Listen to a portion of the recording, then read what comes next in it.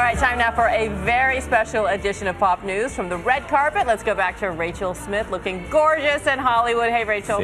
Thanks. Thanks. Already hitting this red carpet dark and early here in Los Angeles. Let's jump on into this Oscar Sunday edition of Pop News. First up, a little fashion glitz and glam.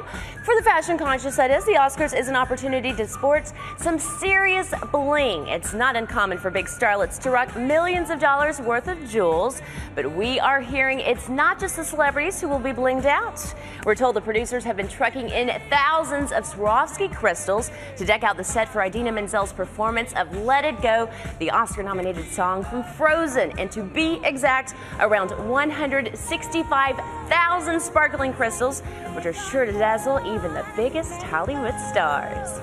Another little gem for you guys. We've also managed to get you a little sneak peek at the Oscars green room. Now, this is the spot where all the stars will hang out as they prepare for their presenting roles.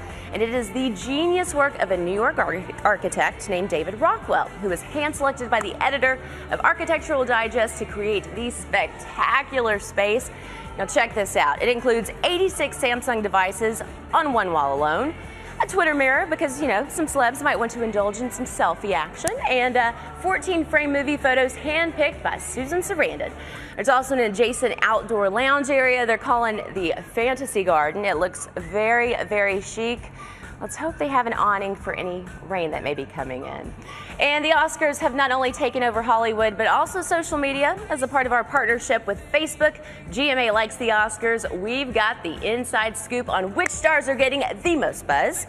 And it seems if Facebook users were voting, Sandra Bullock and J Law would have it in the bag for Best Actress and Best Supporting Actress. Now, in the Best Actor category, Matthew McConaughey is getting the most buzz, except among 18 to 34 year olds.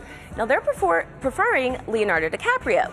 And it seems to be a two horse race for Best Supporting Actor. The guys of Facebook are rooting for Bradley Cooper, whereas the girls, they are all talking about them some Jared Leto. Hmm, I'm thinking it's those eyes and that hair. and finally, as you can imagine, the Oscar rehearsals are an incredibly crucial part of the process, and none of the stars are exempt. Now, Pharrell, Bette Midler, and Karen O, they have all been rehearsing their big performances, and we've also seen the star presenters, plenty of them showing up very casual in jeans to practice their lines and, of course, find out where they've got to stand on stage. And this is a little fun nugget for you. There are also rehearsal actors who sit in the first few rows with placards showing the names and faces of who will actually occupy the seats later tonight. And our own Lara Spencer has been practicing on the red carpet with stand-ins as well, tweeting out this great snapshot from her rehearsal. Check it out. Awesome. Great, guys. Well, that's pop news from the red carpet. Well, Happy Oscar Sunday. Great to see you on the red carpet again, Rachel. You know, when I interviewed Idina Menzel a couple of weeks ago, uh, she said she was so nervous for this too. So it's I a big night. Gotta, gotta feel for her. Thank you, Rachel. right back.